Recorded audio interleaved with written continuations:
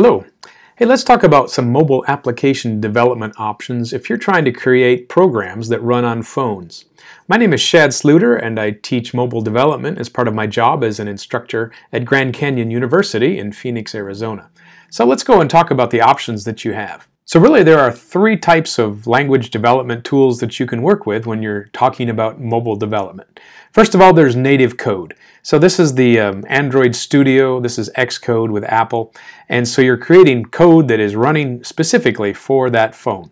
Also, there are ways to create web pages that are called responsive design.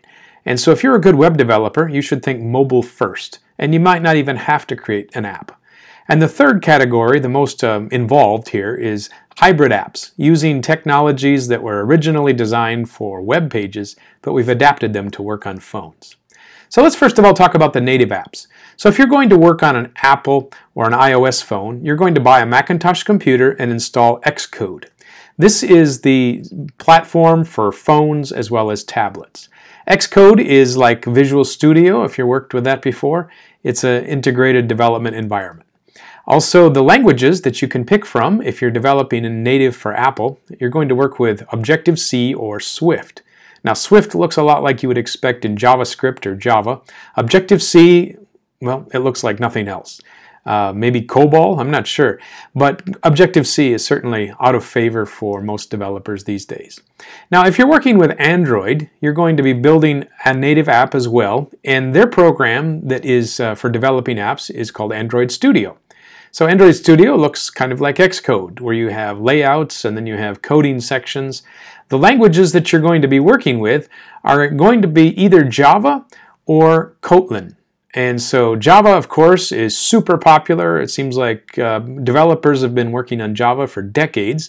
And so if you've got Java skills, then you're ready to go with Android with uh, learning how the libraries, of course, work, but you're ready to program. Now, Kotlin came along just a few years ago, and apparently it is more efficient. You get right, you shorter code, and it's developed specifically for Android. So the disadvantage, obviously, is you have to learn a new language if you're developing in Android. Now, what are the advantages of choosing a native app over some of the other technologies that we're going to show later? So first of all, if you want to have the best user experience possible for your um, app, then pick native. It's going to run and look like you expect an app to run. It's a real app. It's not some kind of a kludge. Now the next one uh, that you might say is not necessarily how the app looks, but it's how Apple and Google treat you. They can tell when you submit an app to the store um, how, what, how it was built, what platforms did it run on. And uh, I've been told that you get a better uh, rating, you get higher uh, reviews, and more likely to be promoted on their store. They uh, want users to have good experiences. However, the uh, disadvantages are, are pretty big too. So if you are a developer and you're building in native apps, you will have to learn multiple programming languages. So for some of you, that's not a problem. You've already got your languages in web development or other app development, and you're ready to just adapt them to Android. So if you've already figured out how to program in Java, uh, you're ready to go for most of the skills that you'll need for Android. And of course, Swift is very much like either of those languages, so you're probably not going to be uh, choking on that. However, if you are a brand new developer, if you, if you don't really know how to code yet and you want to build a web app, then native apps will be the hardest choice of the three. So uh, a big problem that businesses seem to face when they're developing native apps is that they're actually creating double the work for one app. You have to create an Android version and you have to create an iOS version. And that sounds easy if all you're doing is creating a simple app. However, apps can be complicated and require lots of planning. So you're going to have to design your app twice. You're going to have to build uh, two different testing plans for it. You're going to have to deploy to do two different uh, platforms. You might have two development teams that are working on individual parts of your app. And uh, also, you have to maintain your app. So when things change on your phone, you grow up to new versions, your app is going to have to be modified as well. And so it is double the work of just creating a single platform app. So the second way that you can think of when you're trying to serve your mobile users is just to not build an app at all. Just pick a web page design that is responsive. So I think almost every web page out there these days is using mobile first in their design. So you look at a page and you on, on your phone and you notice it looks different than the one that you see on your laptop. And your tablet is somewhere in between. These are common web technology design patterns that front-end designers use these days. And so it's not really an app, but it serves the same purpose as maybe uh, what an app would do. Your business has to connect to customers and uh, make your page do both mobile and web, and you've got yourself a solution. So what are the advantages for just using web for mobile? Well, obviously you don't have any extra coding. You don't have to figure out how to create a mobile version of your company app. You just make your web page function for them all. Also, it's somewhat simpler to just create your web page. So HTML and JavaScript might all, all be what your, your web page has involved with it. So I know that most web pages have Java and C Sharp or PHP or Ruby or some kind of a backend that is really doing the, the server work. And of course, that I wouldn't want to discount your, your development there. But you don't have to worry about compiling a web app, do you? And you don't have to worry about publishing it to a store or promoting it. You just make sure that it has good Google results or your um, typical web page SEO, and you're ready to make your mark.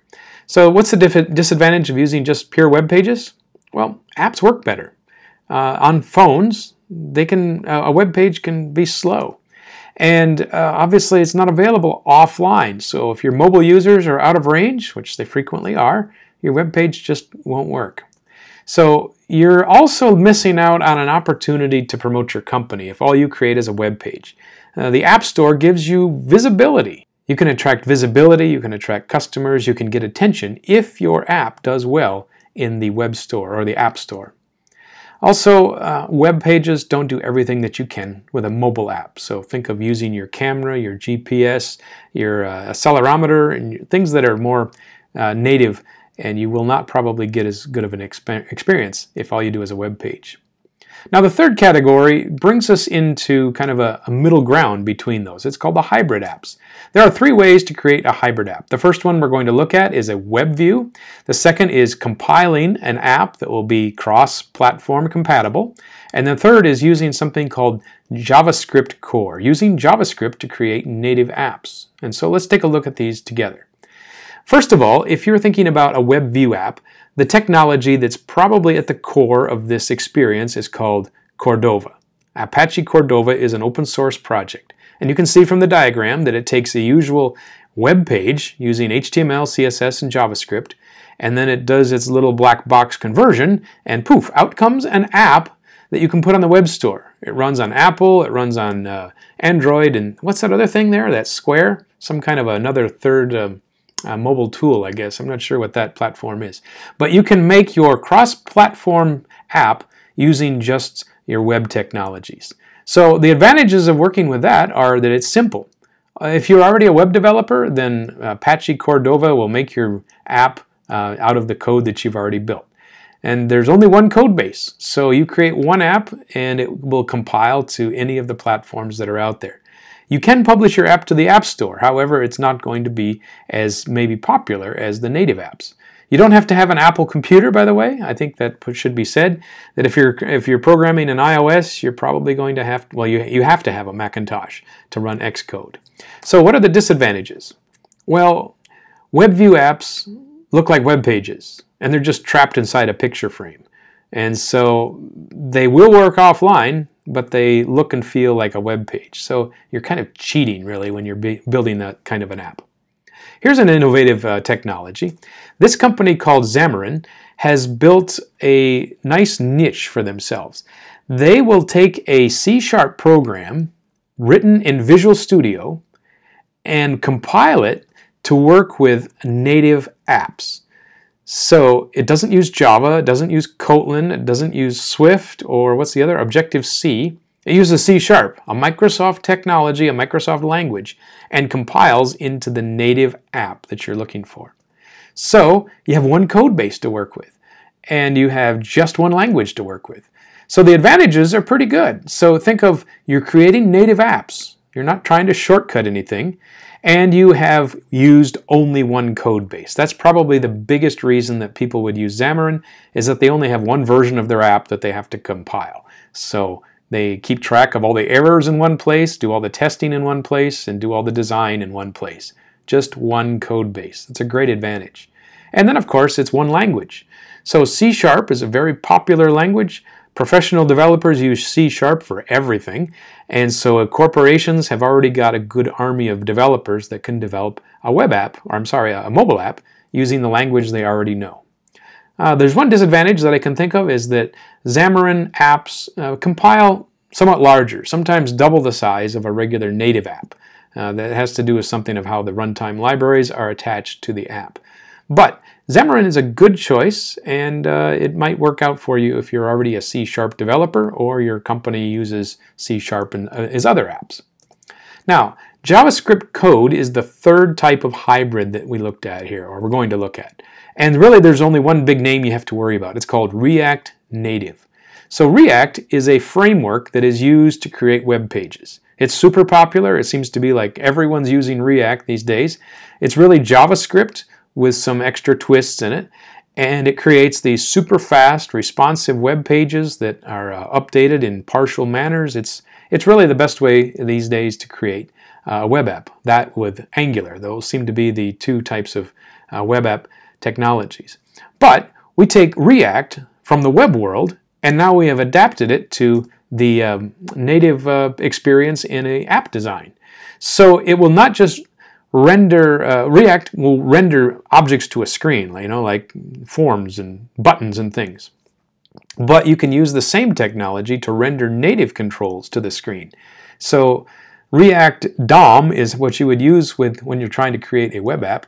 React Native is what you use when you're trying to uh, compile for a phone. So the advantages of React Native are that you use the same skills, again, that you did as a web developer. So if you're a web developer using React, you're ready to go and you're ready to learn how to use React Native for mobile. Also, you have a single code base again. You only have one version of your app to test and to deploy.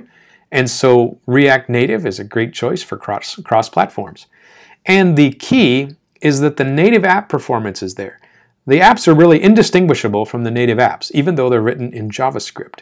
And so it's a great bunch of advantages. And so for the disadvantages, well, I really couldn't think of any. If you're already developing in, in C Sharp with uh, Xamarin, and just keep going with that, or if you're working with Java and Android, maybe you're fine. But a lot of people are saying, uh, I've already got web development experience. How do I get into mobile? Well, React Native is your best choice. That's the easiest step for you as a web developer to get into mobile developments. There's also another category that you could think of is that game engines such as Unity and Unreal, really the two main competitors in this in this market, are both able to export their projects to both Android and iOS. And so you can think of there are multiple platforms you can export to an Xbox or to a PlayStation, but Android and iOS are mobile platforms that they can work with. But uh, game engines are not just for games either.